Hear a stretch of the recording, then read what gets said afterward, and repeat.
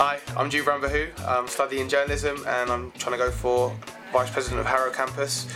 Um, first of all, I want to strengthen the relationship between lecturers and students through my one-to-one scheme. 'cause You can never get enough help, and obviously everyone wants to get first. Also, I'd love to improve on Harrow Campus's social life um, through promotion and maybe some fresh ideas. Also, I'd like to push um, partially subsidising um, student projects because selling cupcakes for a degree is just not on. Um, you should vote for me because I've worked for the SU for two and a bit years now. I've been at the university for three, so I, I know how it works. Um, know quite a lot of the people here as well, and I know the major issues that really need to be addressed.